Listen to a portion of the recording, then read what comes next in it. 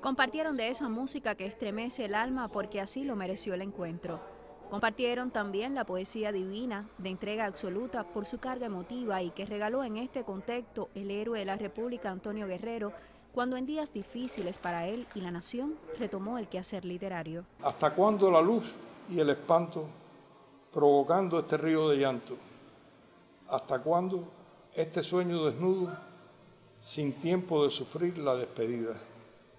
¿Hasta cuándo tendremos este nudo en la garganta misma de la vida?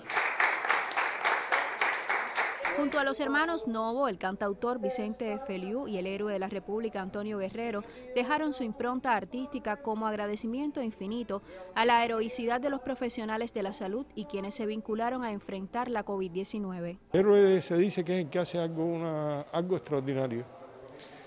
Y yo creo que el pueblo nosotros es un pueblo heroico, de héroes, pero que el personal de la salud, repito, eh, ha hecho el hecho extraordinario de poner, arriesgar su vida por salvar la vida de los demás sin pedir nada a cambio.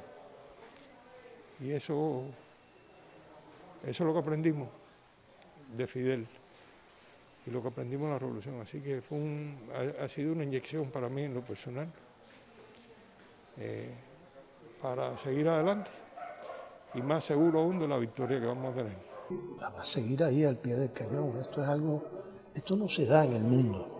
Por mucho dinero que tenga, nadie le da un seguimiento al paciente, porque es la persona, no es el paciente, que se le da en Cuba. Este centro tiene un nombre que para nosotros los cubanos tiene un significado, que es la primera victoria contra el imperialismo en este hemisferio, que fue en las arenas de Girón.